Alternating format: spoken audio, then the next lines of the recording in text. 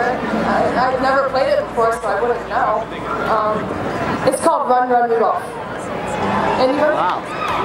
I got it from one of you guys over here. I was at a party with them, and they one of them played it. It was one of you guys, and then I got the idea.